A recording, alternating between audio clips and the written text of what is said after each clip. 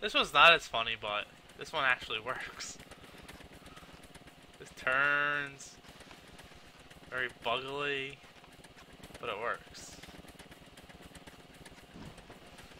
There goes Casey. Oh my god. And then that's the last one. Let's just drive over to the last one. Or, or get stuck.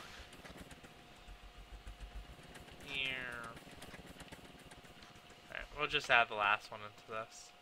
I think he's making something else. So this is one Casey's proud of because this has an actual door to it.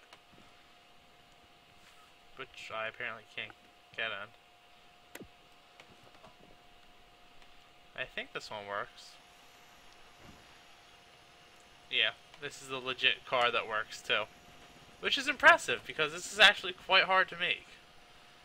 At least for me it is. Just to drive in the case, going to help him move.